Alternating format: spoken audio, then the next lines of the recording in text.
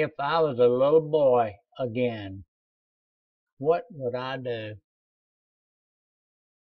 I think I would do the same thing that I was doing at that age.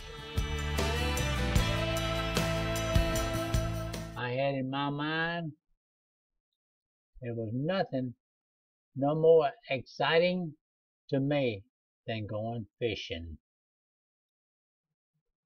I just love to get a bite and catch the fish and put him on a string and see how many I could get to take back to the house so Mama could see 'em and she would brag on me what a good little boy I was and what a great job I did catching fish.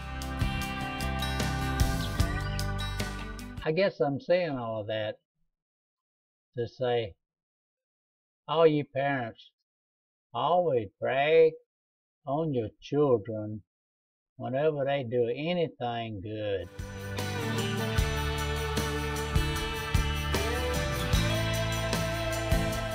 Because they want to hear that. And they'll always remember it all their life.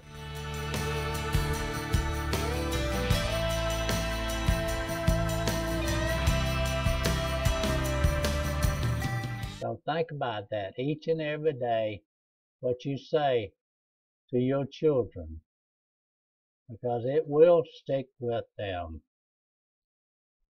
It'll encourage them. Whenever they're down, they'll think about what mama and daddy said to them about how good they were.